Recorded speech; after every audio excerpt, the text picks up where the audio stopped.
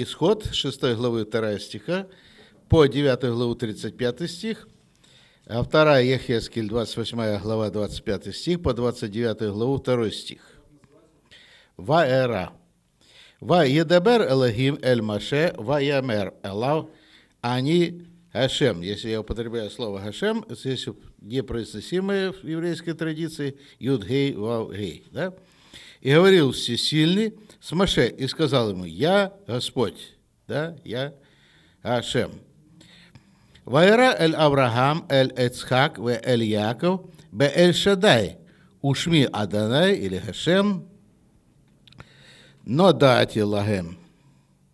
Я открывался Аврааму, Ицхаку, Якову, как какой Эль Шадай. Но как Ашем, да, я им не открывался.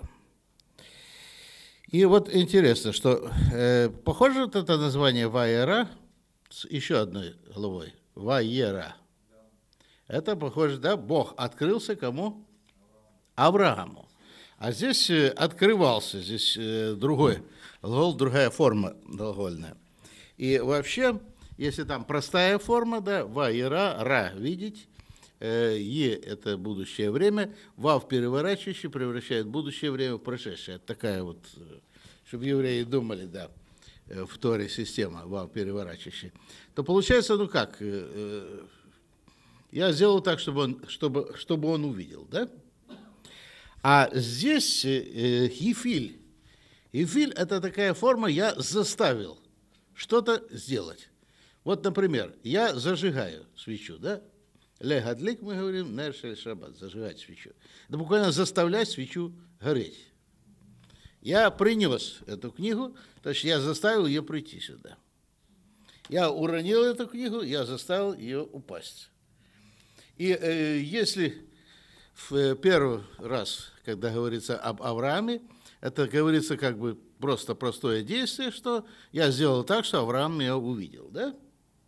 то здесь я заставил видеть себя Аврааму, Ицхаку да, и Иакову. Ваера – это гефиль, который обозначает «я заставлю делать то, что есть», и означает, что Бог заставил себя видеть. Ну, очень простая аналогия. Как мы можем увидеть Бога? Ну, например, воздух мы можем видеть? Кто видит воздух?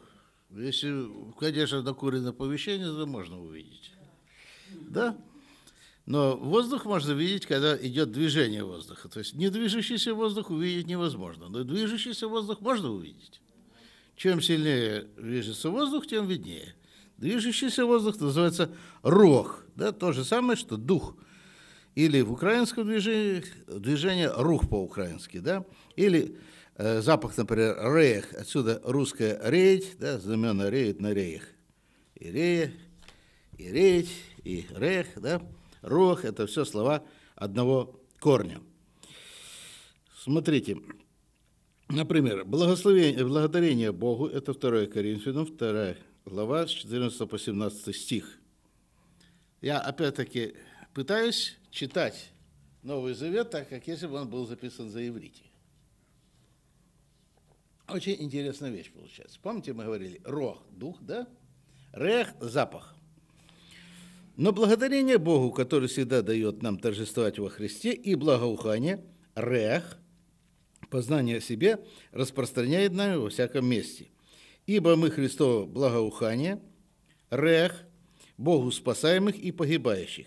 Для одних запах опять рех, смертоносный на смерть, для других запах рех, живительный на жизнь. То есть рох, да?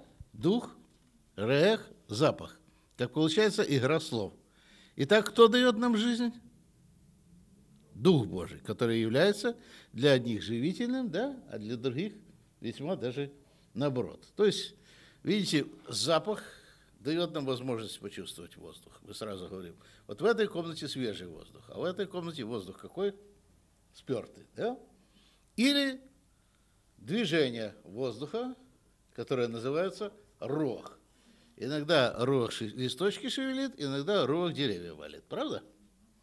И таким образом воздух заставляет себя видеть. Правда? Это очень интересная мысль. То есть открывается дух свой через свои действия, чудеса, как естественные, так и сверхъестественные. Где был Бог, да? Некоторые говорят, где же был Бог? Почему 400 лет Бог не отвечал? Вот возникают такие интересные вопросы. Разве нельзя было бы, например, вывести евреев по-доброму и по-хорошему? Ну, вот пришел ангел к фараону, или даже Моисей к фараону. Фараону стало страшно, он взял и отпустил всех евреев. Почему нужны были вот эти 10 казней? Кстати, э, когда говорится о казнях, да, употреблено слово, это э, только в одном месте употребляется слово казнь, макат бехарот. Макат, макат бехарот, это казнь первенцев. Да? И какой корень казнь? Кат. Украинцам это что-то напоминает? Да, готовят, да. Совершенно верно. Тот же самый корень. Э, то есть э, Макат Бахарот, Бог всех замочил первенцев. Макал он их, макал и замочил таки, правда? Но в остальных случаях употреблено слово «удар». Бате. Бате – это удар. А ну-ка, русское что? Бить батог, батагами, да, украинская, или батька, тот, который бьет. И так было 10, 10 ударов, обрушившихся на Египет. Ну, может, кто-то еще моего возраста помнит историю, как мы в школе изучали войны, 11 сталинских ударов 1944 года. Кто-то помнит? Да, ну, это называлось сталинские удары. Потом уже просто перестали называться сталинские. Да после 61 года. Ну вот так, у Бога было не сталинские удары, а какие? Божьи удары, да? Божьи удары. То есть 10 Божьих ударов. 10 Божьих ударов. В первой главе говорится только о семи из них, потом о трех, а после 12 главы говорится да, о, еще о последней ударе. Хорошо. Итак, значит, Бог заставил фараону себя видеть, Посредством чего?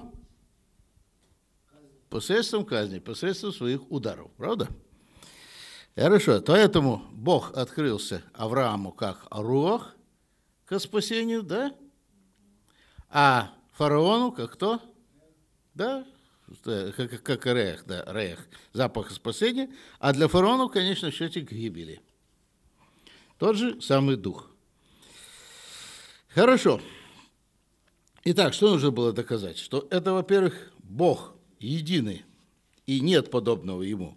Потому что фараон первое, что спросил, говорит, а кто же такой твой Бог? И почему я должен да, подчиняться ему?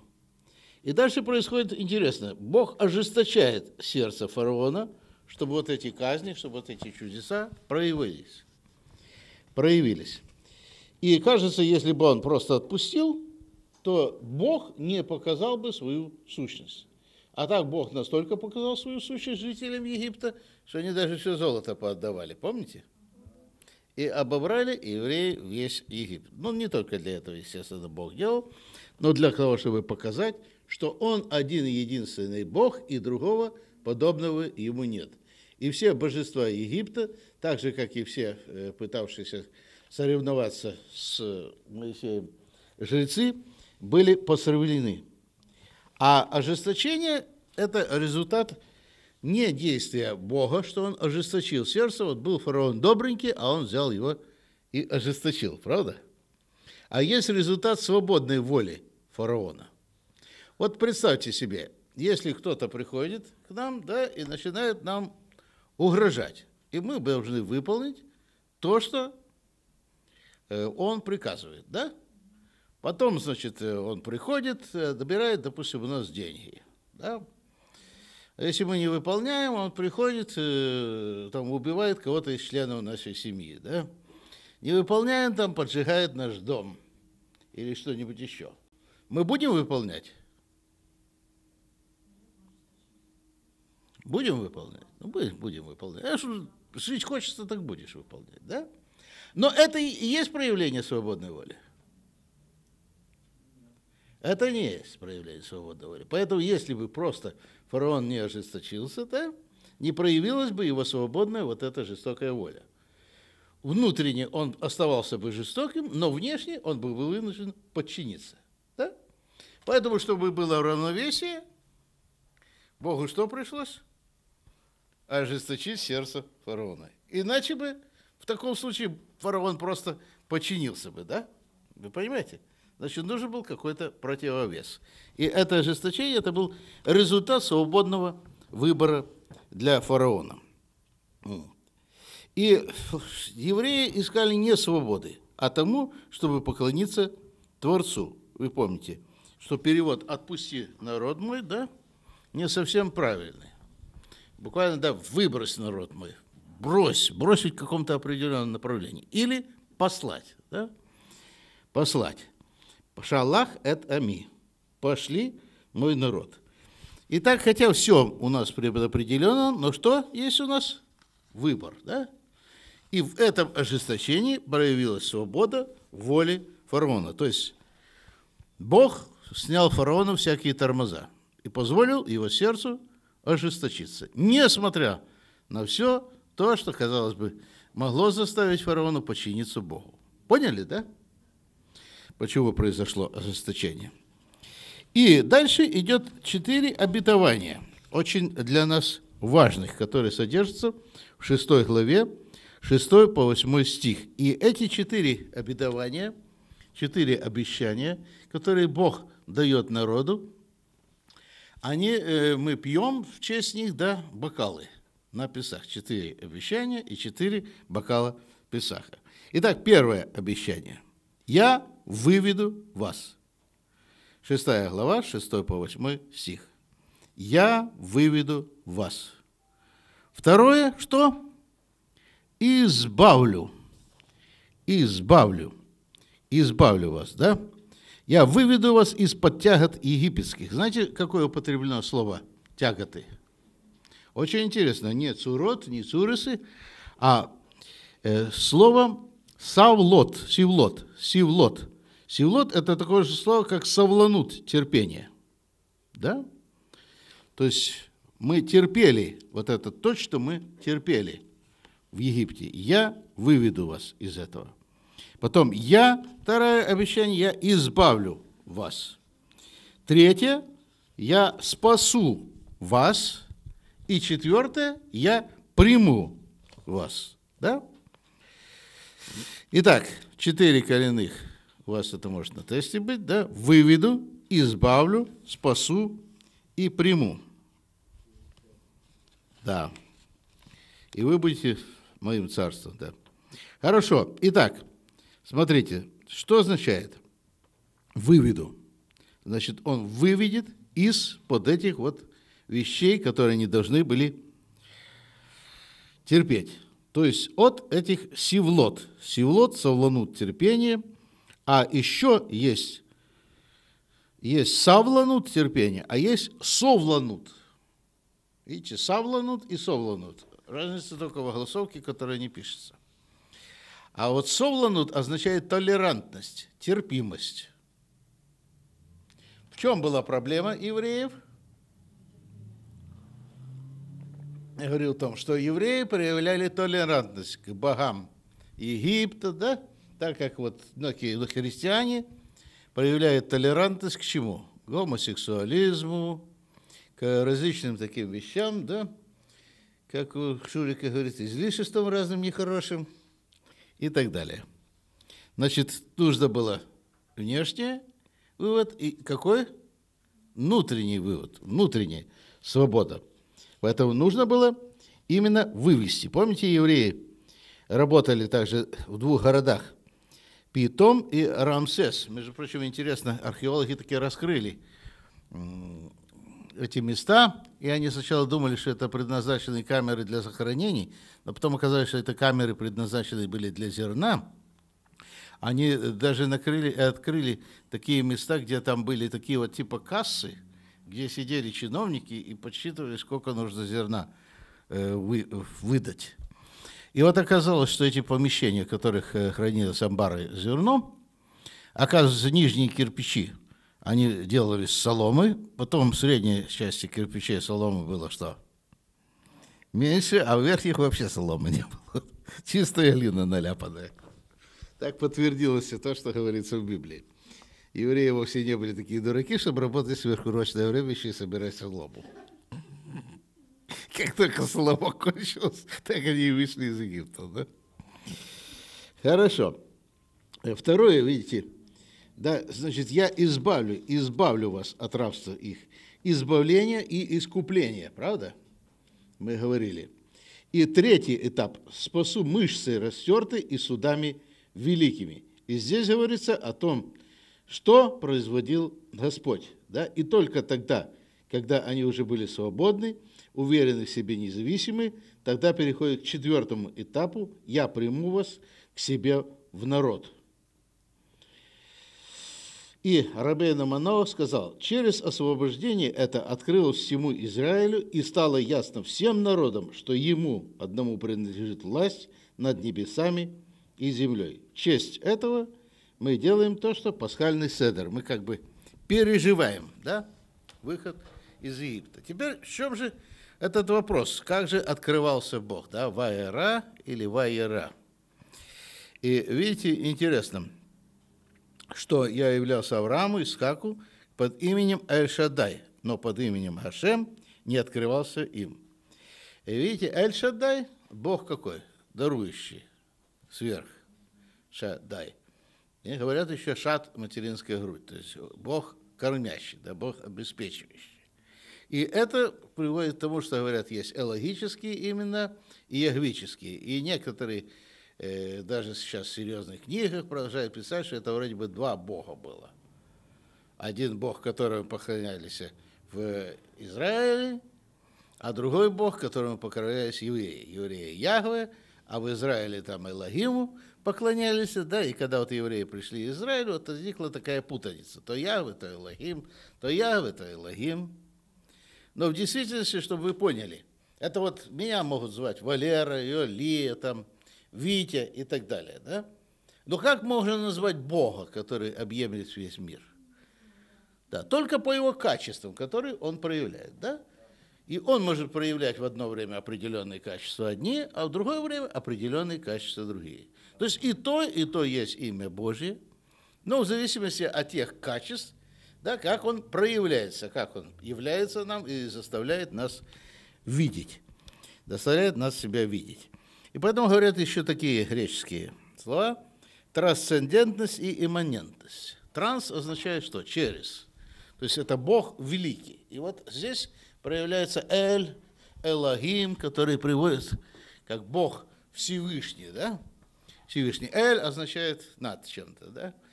Вот. Бог Всевышний. Бог Всевышний.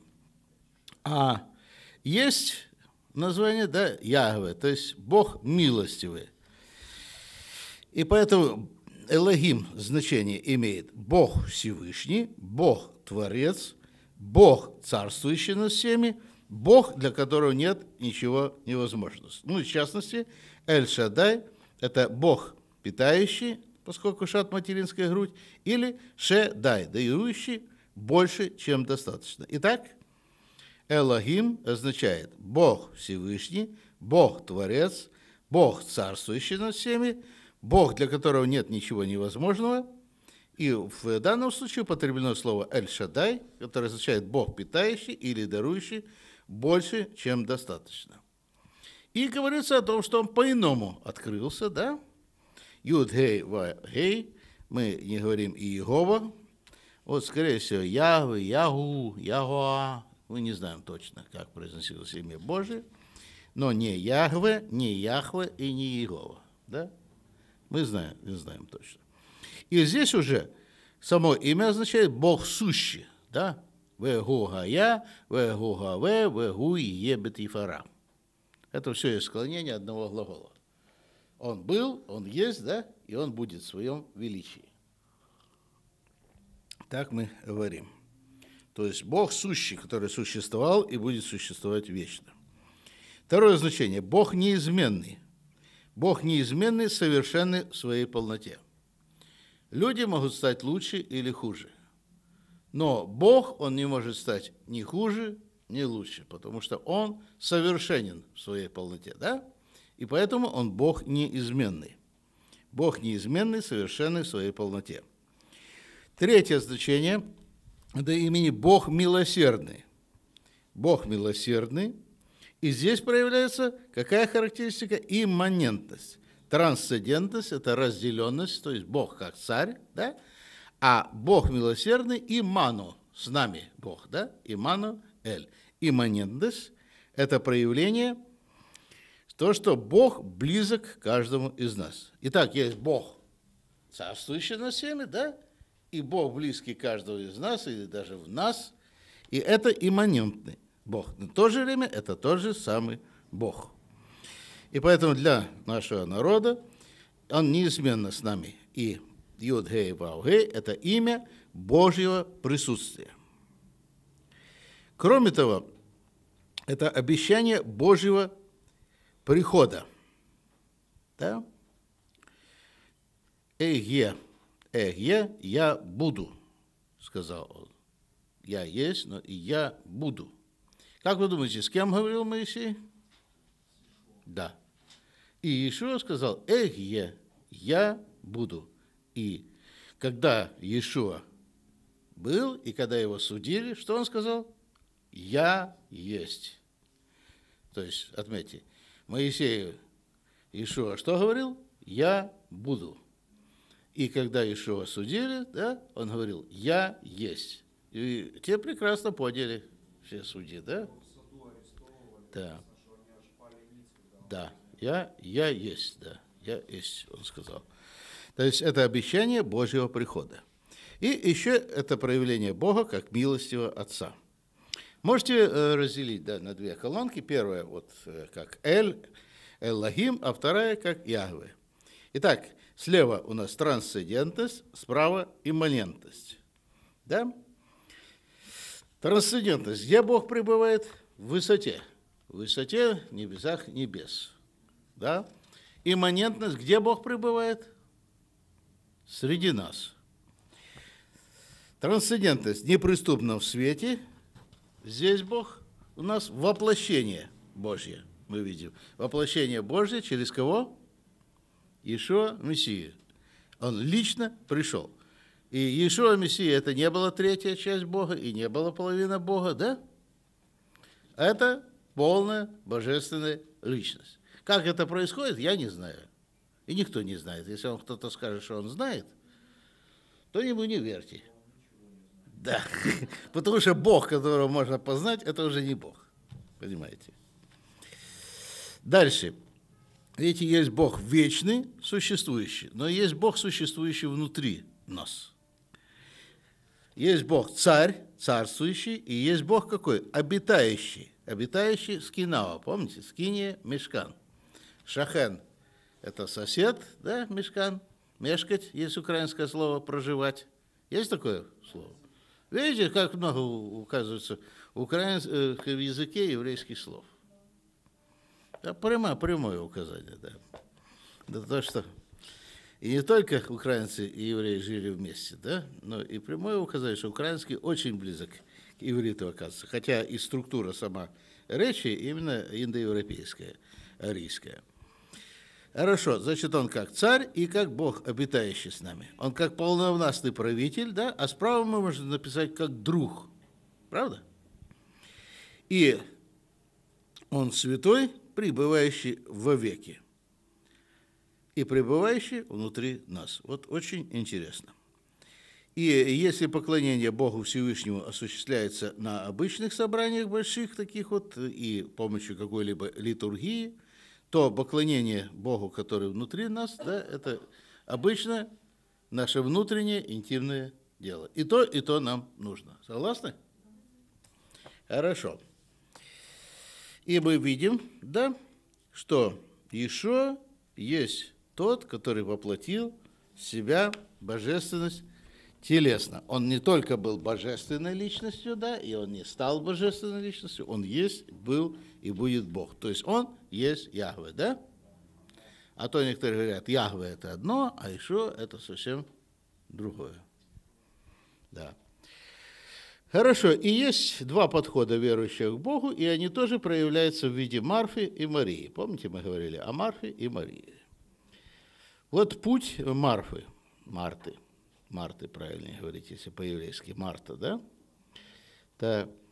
Значит, это путь исполнения дел, путь Марии – это путь личного взаимоотношения. Я еще раз говорю, и то, и другое, что важно, да. Вот, слева можете написать там, где Марта, это осуществлять служение для Мессии. Справа – входить в присутствие Мессии. Я говорю, одно не, друг, не исключает другого. И что он не сказал, что не надо было делать так, да? Он просто говорил, всему есть свое время. Есть определенное время, когда нужно сидеть у моих ног, да? Итак, значит, служение для Мессии, делать что-либо для Мессии, да? А э, Мария, Мирьям, входить в присутствие Мессии, сидеть у его ног. Сидеть у его ног еще синоним учиться. Потому что, например, э, вы знаете, э, Павел, Рав Шауль, где учился? У ног Гамлиеля. Да? Вот я тут сижу на высоком, а вы тут у всех у моих ног. Слава Богу, что здесь закрыто, и вы не нюхаете.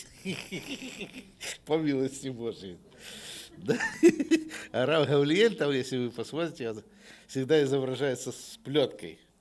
Сидит он за такой трибуной, ученики внизу, а в руках у него плетка. Чего мне сейчас часто и не хватает. Вообще некоторым людям для служения нужен стимул. Знаете, что такое стимул? Палка, которой гоняли быков. Хорошо. Так, путь Марты – ожидать, что другие помогут тебе сделать что-то для Мессии – Путь Марии – смотреть ему в лицо. Путь Марты – привлекать других к работе к Мессии. Это я не говорю, что не нужно, но и то, и то нужно. Для каждого свое время, да? Мария – слушать его голос. Трудиться для Мессии изо всех сил. Слева можете написать, справа – принимать его силу. Слева – готовиться к приходу или присутствию Мессии, справа – ожидать от него, да? Ожидать от него то, что он даст. Слева стараться сделать все как можно лучше, справа возложить заботы на него. Но это не значит, что я возлагаю заботы на Иисуса и ничего не буду делать, понимаете? Просто нужно иметь равновесие. И та, и та крайности, они плохие. Хорошо. Марта, она координировала планы Мессии. То есть, как сказать, она брала дело в свои руки, ты, говорит, хватит уже там проповедовать, давай, мне она нужна, чтобы помогать. Правда? Вмешивалась всегда в дела Мессии. Вот. Поэтому Марта она будет всегда координировать планы Мессии. А Мария чувствует, что нужно делать определенное время. Хорошо. Ну и Марта жалуется Мессии по поводу служения других. Вот такие другие нехорошие, не так служат, как надо, да? А Мария, она является как бы ребенком таким вот простым. Она не смотрит на других. Она наслаждается свободой Мессии, она отдает все свои страхи Мессии, омывает ноги Мессии и исполняет его волю. И если Марта внимание уделяет тому, что необходимо, то Мириам тому, что лучше. Но я вам говорю, что и то, и то важно. Как же познать Бога? Знание – Знание приходит через разум. И есть познание, которое идет что? Через сердце. Помните? Знание через разум, как называется? Бина. Бина. Да? А познание через сердце – даат. Знание Бога дает мудрость, страх Божий. А познание Бога да, означает, что мы приходим в Его присутствие. Поэтому не от нашего знания Бога или служения Ему, но от нашего познания Его, от и того, какие у нас взаимоотношения с Ним, зависит наше спасение. Но с другой стороны, да, если мы говорим, что спасение наше не зависит от дел, это что? Это тоже ересь. Да? Мартин Лютер тоже в свое время был еретиком, потому что он с одной крайности впадал в другую. другую. В действительности, если он, помните, даже Якова отрицал послание, потому что оно не входило в его доктрину. с другой стороны, если мы не делаем то, что Бог делает, да, не выполняем заповеди его, мы просто не любим. Можно на слова говорить, я люблю тебя, Господь, но Новый даже Завет говорит, как может проявиться любовь? Только если мы исполняем заповеди его, да? А заповеди его даны в Торе. Итак, мы говорили о трех степеней познания, да? Это может быть мудрость, которая является страхом Божьим, хохма, бина, это познание какое? Через разум человеческий, и даат. И даат. Это более высокое познание. Хорошо. Какие же казни были египетские? Ну, я сейчас буду говорить о общем о казнях, потому что, понимаете, если мы будем говорить только о том, что содержится в этой главе, а потом переносить будем то, что содержится в другой главе, да? Так же, как вот когда мы говорили о жертвенниках Авраама, некоторые в одной главе, некоторые в другой главе. И мы видим, что чудеса, вот такие чудеса. Видите, когда будет говорить вам фараон, дайте чудо, 7 глава, 9 стих, да? фараон сам спровоцировал эти события. И, как говорится, за что боролись, за то и напоролись. Первое чудо, оно не было казнью, просто чудо. Это чудо посуха. Во что превратилось? Да, в танин, крокодила или чудовище, такого типа динозавра. Динозавра, плезиозавра, ихтиозавра. Все эти существа в Библии выходят под словом танин, а просто перевели как змей, поскольку крокодилы в России не водятся, да, а синодальный текст Библии предназначен для простого народа, тут надо было кучу сносок делать.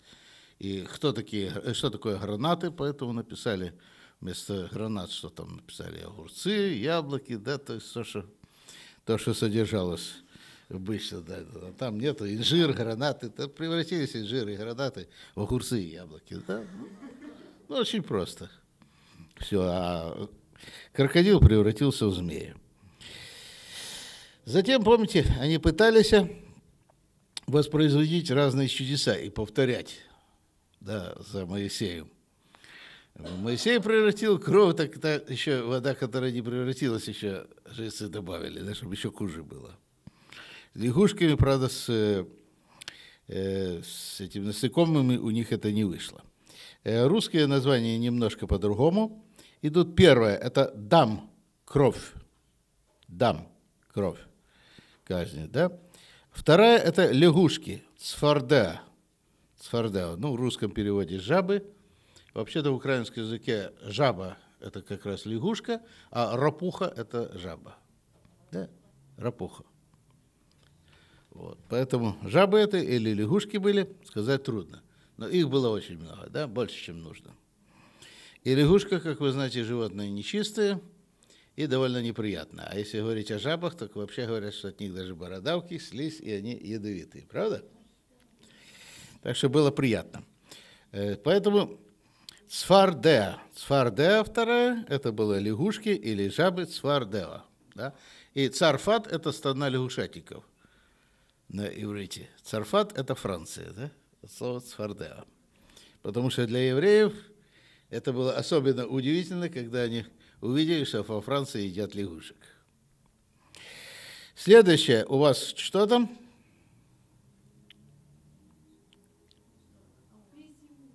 Да, пёсьи мухи, да? Откуда же эти взялись пёсьи мухи? И почему они взялись пёсьи? На иврите киним.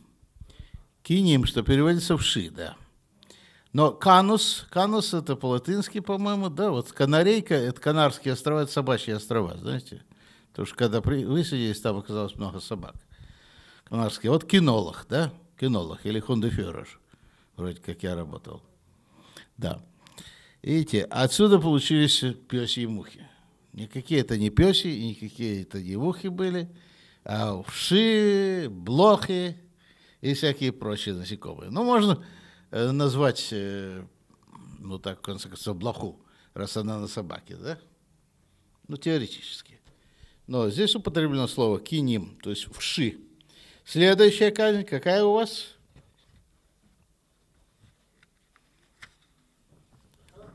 Не, ну так вы читайте Библию, ну что, открывайте Библию и смотрите. Так, Аров, так, у кого Библия есть? Так, два человека, да? М? Так, дикие звери, Аров, Аров, Аров, да. Потом мор, мор девер, далит, да, вет рейш. Это то же самое, если написать без огласовок, как слово давар, да, слово.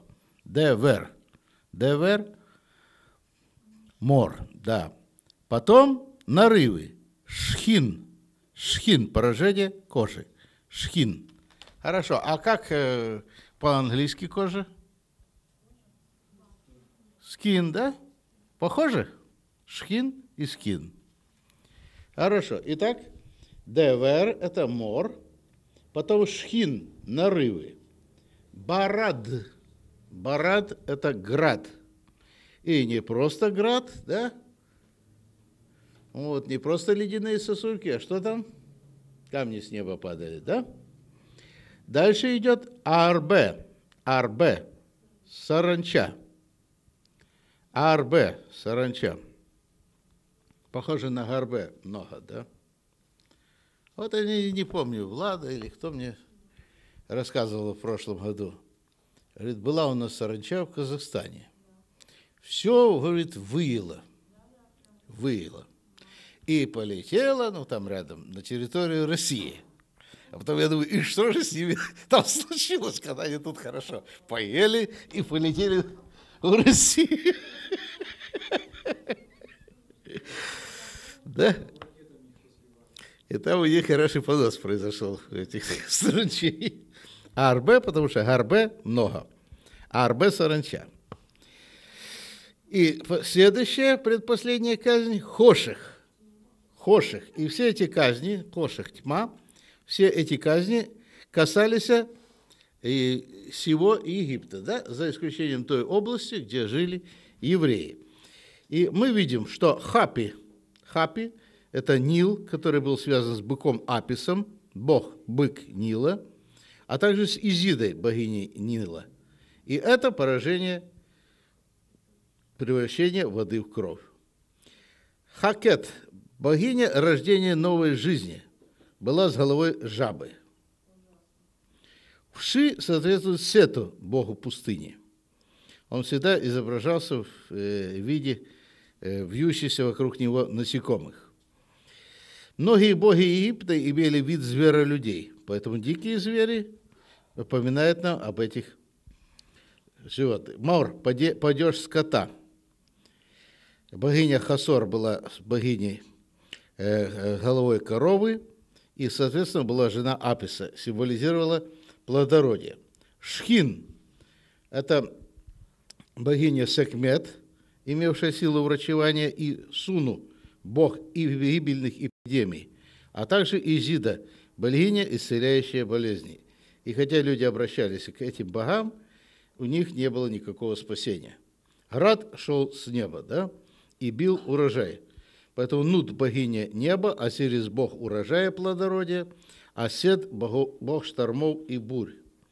Саранча тоже соответствовала богине неба, и Богу урожая, которые были посрамлены, потому что все плодородие было уничтожено. И самым верховным божеством Египта был Бог Солнца, именуемый как Ра. И это девятая казнь. Хорошо. И десятая, это касалось первенцев. Если те казни касались богов, то эта казнь касалась первенцев. Дело в том, что первенцы в Египте и первенцы в, э, первенцы в э, Израиле, они кто были? Ну, понятно, что не бабы. Это мне сказали мужики. Да. А помните, они что? Были священниками, да? Первенцев отдавали египтяне в клан священников, а первенцы Израиля, они имели право быть священниками Израиля. И еще говорят, что первенцы Египта особенно издевались, да, первенцы Египта особенно издевались над евреями. Поэтому произошло казнь, о которой будем говорить в следующей главе, да, назывался Макат Бехарот. И отличие от этих всех казней, которые называются ударами, это называется казнью.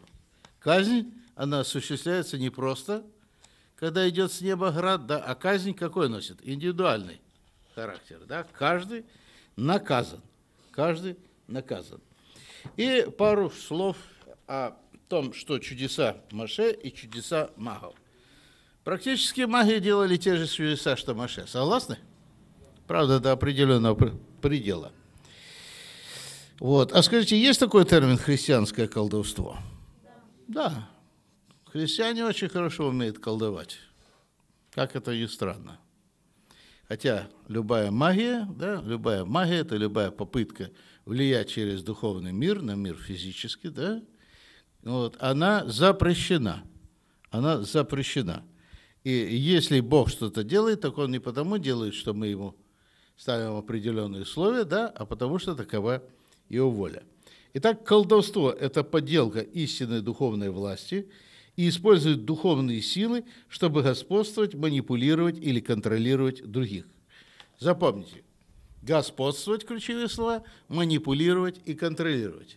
В любых случаях, когда вы видите эти попытки, да, мы можем говорить о колдовстве или о магии. Очень жаль, да, что многие евангелисты и многие деноминации пользуются для приобретения Божьего Царства не Божьими что?